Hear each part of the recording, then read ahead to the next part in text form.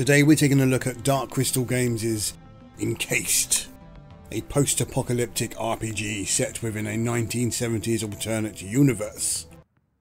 The story revolves around an artifact, the Dome, where its effect on humanity are quite profound. You begin the game choosing from a selection of five colour-coded classes or wings, which ultimately shape how you progress through the story in terms of what responses you have during conversations and perhaps confrontations. As with most RPGs of this nature, you are free to create a custom build. Once the opening pleasantries are over, a lengthy intro begins where you find your feet, visit various people on base before embarking on your first mission. The pacing is quite slow here as you will be talking much more than getting into combat situations. Well, it was for us with our White Wing character build, although events may differ depending on your choices. The game prides itself as a tactical RPG, but it could be an hour before you get into some real combat. Without spoiling any of the story here, aside from a major event occurs which thrusts your character into the fore. You become the main character, so to speak, rather than a single cog set within a multitude of moving parts. It's here where Encased begins to show its true potential, and its nods to games like Fallout and Wasteland. You're very much free to explore how you see fit, except following the main story path isn't hand holding by any stretch. Encased doesn't do a grand job of explaining things to the player. It's either a deliberate harking back to the days of gaming where you just got on with it, or a lack of time and resources to present a proper tutorial. On one hand, it's totally intriguing to find out things 20 hours plus into the game, such as the option to unlink your two companions without losing them by clicking the chain beneath their icons. On the other, a pain in the backside you weren't told this sort of basic stuff earlier, or miss the person who told you about things. A tiny icon allows you to bribe or trade with specific characters rather than have that as an option in the conversation dialogue. Whereas other times the option to let's have a look at your wares exists. Some things just don't feel consistent enough. The same can be said of the quests, which we're still on the fence whether we like them or not.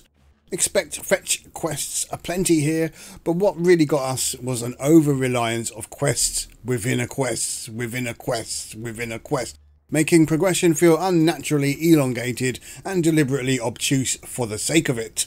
Picture this then as a typical gameplay loop, trying not to spoil anything here. You're required to get some specific items for a main part of the story, of which there's a vague description of who you need to ask to get them. You might have to perform another quest for that person before they hand them over.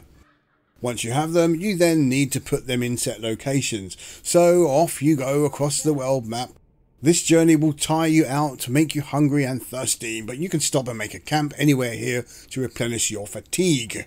Once on your way again, you might hit a random encounter or two on your journey, of which it could be a set of events, such as a battle with hyenas, an option to trade with a mysterious trader of goods, helping someone in trouble, or having sex with a flasher who jumps out at you from behind a rock. Yes, the writing is thrilling and bizarre at the same time. Once you reach your location, you then scour the fog of war driven map to find where you need to put your item. You find it, select the use option only to discover it won't let you because you need another item alongside it. Bam! So off you go again to another part of the map to another person who knows how you can craft said item. However, before they give you the info, you must perform another task for them. Get the picture. It gets tedious at times, and whilst admittedly some of the side quests within a quest are interesting, parts of them can become increasingly vague. At one point, we had to ask on the Steam forums where we could buy a particular quest important item. The takeaway here, and perhaps for some though, is this is a positive. Your experience will vary compared to others, depending on who you speak to and how thorough you are. There's simply a lot of missed items for the unlucky or those who skip random encounters or evade speaking to every NPC. Take that as you will. On a positive note, the game's writing is often of a very high standard with massive amounts of descriptive text when interacting with NPCs. In fact, for any main character, you will hear a wonderfully spoken soundbite, which at first is just amazing, but often it's far quicker to read. A shame, because the voice actors are on point here. audio overall is of a high standard, the voiceover cast offering compelling performances, the music subdued but welcoming, and overall fitting for the type of game here. Visually, Encased looks pretty decent on PC in 4K using the game's Ultra preset. Players will come across some neat locations and witness impressive designs of characters via their portrait images. These especially are impressive and look like the characters you interact with, of which you can zoom in and out when in the field. There are a fair number of them too, which shows a lot of care was put into creating a varied cast of NPCs. There is really little to complain about from a visual standpoint. It's a post-apocalyptic setting, so expect plenty of desert locales and settlements alongside interior structures that appear as relics of the 70s time period. The game runs smoothly, although due to its nature isn't going to tax competent hardware. That said, some options exist for those who want to get the best performance. As mentioned, we ran the game on Ultra 4K without any issues including zero lockups or crashes. In terms of controls, we would have liked full WSAD movement as an option alongside continuous clicking the mouse. There is no controller support here either, partial or otherwise, which might put off some players. There are plenty of options to rebind the keys though for those with specific tastes, which is great. Encased is a long game and you will need to set aside plenty of hours to get the most from it in terms of progressing. It's also as long as you make it due to the numbers of NPCs and optional side quests alongside the main story. You might want to replay it again using a different build too to get a feel of how they differ. An option exists to simply play solo and as a touted feature quite possible to finish the story rather than beat the game without any combat, which is a challenge for those with the silver tongue. To conclude then, we have a mixed feeling about Encased. No doubt for some players it's a great game reaching the upper echelons of the review scale, for us, less so due to our own preferences or perhaps expectations.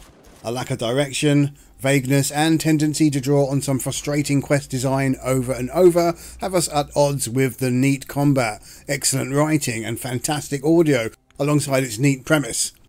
However, with our grievances aside, we still recommend this for those looking for strategy, turn based role playing. It's certainly got character, and that's something most people can probably agree on. Encased then, scores. 8 out of 10. Okay, I'm Rob Cram. Thanks for watching.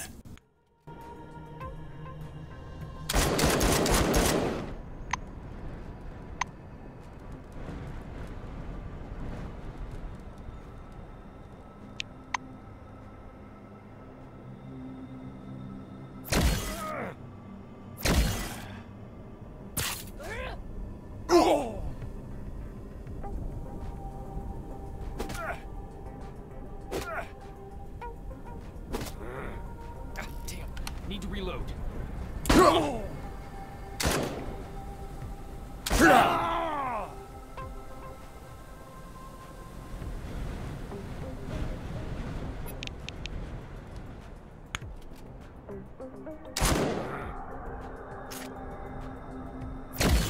Dead asshole.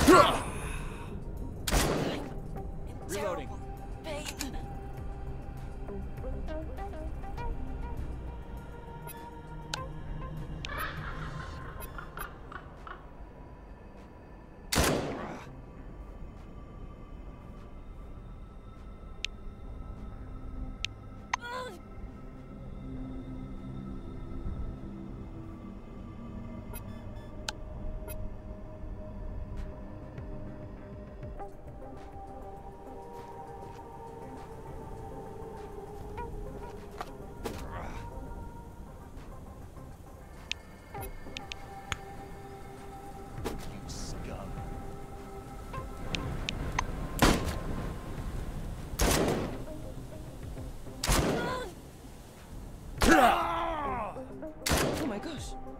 Blood? I'm hurt.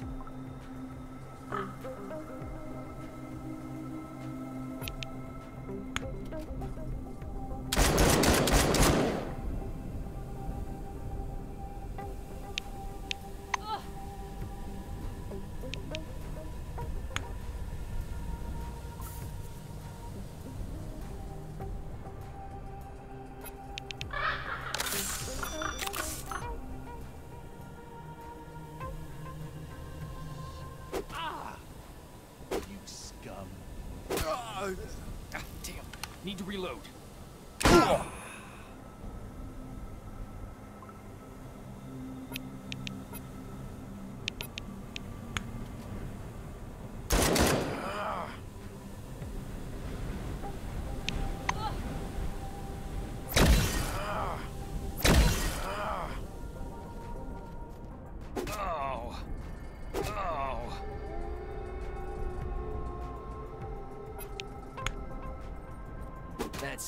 Your ass is grass.